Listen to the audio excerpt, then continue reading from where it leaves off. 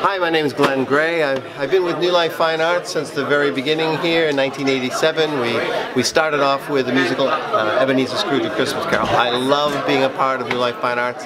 It has been a great part of our lives, my family. In fact, all of my family at one point or another have been a part of New Life Fine Arts and the many shows that we do.